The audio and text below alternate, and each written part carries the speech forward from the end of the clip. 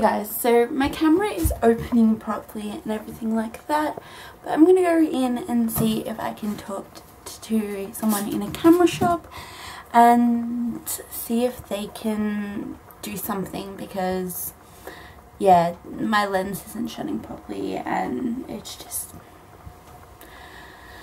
not happening for me. Um, so yeah, I'm going to be able to still kind of daily vlog with this because I can still open it and everything like that. Just, I have to push down on the lens to close it properly so it doesn't get scratched and stuff. And, mm, driving me nuts. But yeah, good morning.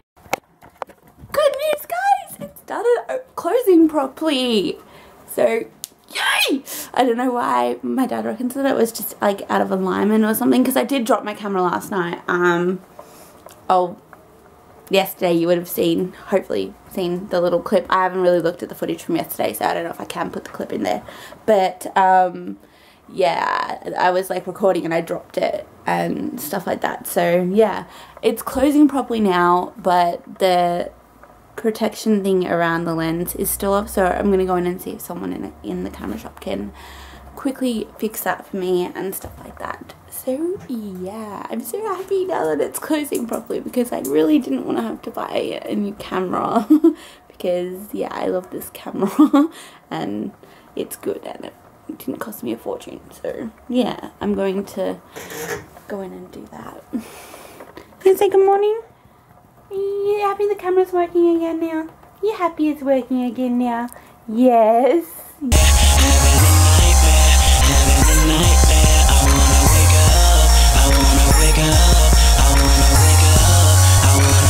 Okay guys, so look at my vlog camera. So I'm using my big DSLR at the moment. But yeah, look at my vlog camera. It is just not like this is what it's doing. Can you hear that?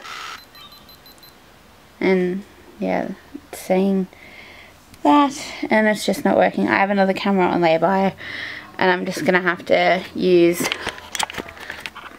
ugh, my big DSLR until then.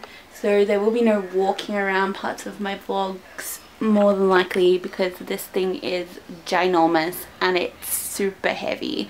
So yeah, it's not a, definitely not a vlogging camera but I'm getting a new one on Tuesday so yeah, I'm excited for that. So the vlogs may be a little bit off for the next day or so and yeah um I think I'm going to kind of take the rest of today off because um today is actually the six year anniversary of my auntie and my cousin's passing away. So today is kind of a day for me anyway. But um yeah with the vlogging camera and everything. So yeah this is the end of today's vlog. So yeah I will see you guys tomorrow. Bye guys